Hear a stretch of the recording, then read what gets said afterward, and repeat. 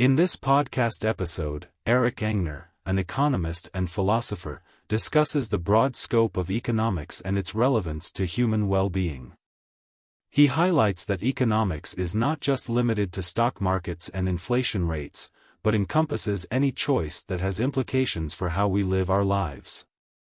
Economics provides a framework for understanding the values at stake, the costs involved, and the benefits that can be derived from making the best available decision. Angner also addresses the misconception that economics is a dull and uninteresting field. He argues that economics is actually quite cool and offers valuable insights into various aspects of life.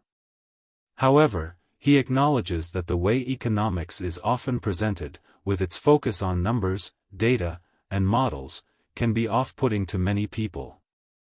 He suggests that economists need to do a better job of translating their research into a language that is accessible and comprehensible to the general public.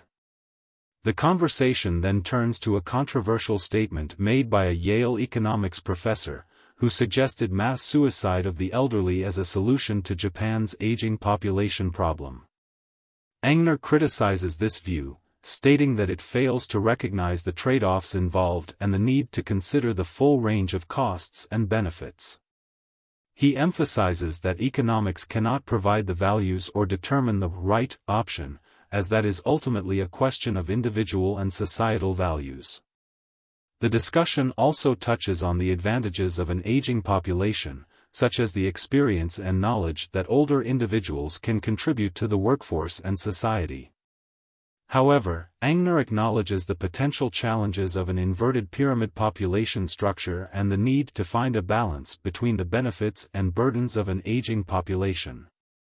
The conversation then shifts to the reputation of both economics and philosophy and the difficulty these disciplines face in communicating their relevance to the general public. Angner suggests that the abstract and inaccessible language used in these fields, as well as a focus on professional norms and approval, contribute to their poor reputation. He emphasizes the importance of engaging in conversations with the public and incorporating stakeholder involvement in decision-making processes. The podcast also explores the relationship between money and happiness. Angner explains that while money can indeed buy happiness, the effect is smaller for higher-income individuals.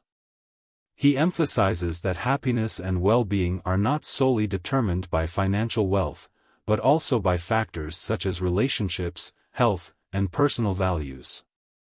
The conversation concludes with a discussion on the challenges of adapting to health conditions and the impact of different conditions on happiness. Angner highlights that chronic pain and conditions that interfere with daily life, such as incontinence, can be more difficult to adapt to and have a lasting effect on happiness levels. Overall, the podcast provides a comprehensive exploration of the broad scope of economics, its relevance to human well-being, and the challenges faced in communicating its value to the public. Angner's insights shed light on the misconceptions surrounding economics and philosophy and emphasize the importance of considering the full range of costs and benefits in decision-making processes.